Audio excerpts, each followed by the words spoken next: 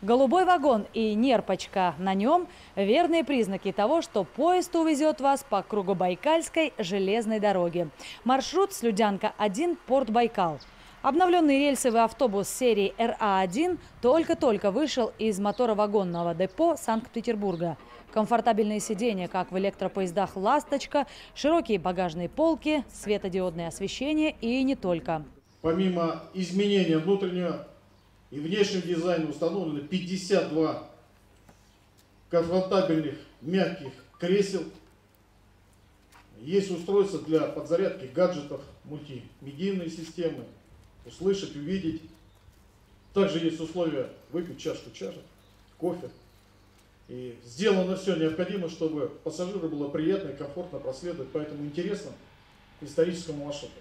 Разработчики уверены, этот поезд отлично впишется в пейзажи Кругобайкальской железной дороги. Маршрут пригородной Нерпочки будет проходить по уникальному памятнику инженерной архитектуры вдоль Байкала у подножия Алхинского плата. И станет еще одним дополнительным объектом для всего туристического населения Российской Федерации. И это будет объект, еще один притяжение именно для участия в туристических маршрутах по ГВЖД. Пригородные поезда РА-1 «Нерпочка» будут курсировать ежедневно, кроме среды. Отправляясь с вокзала Слюдянка-1 в 10 часов, они будут прибывать на станцию Порт Байкал в 14.45. В обратный рейс поезд отправится в 15.00 и прибудет на станцию Слюдянка в 19.50. Мария Латышева, Новости дня.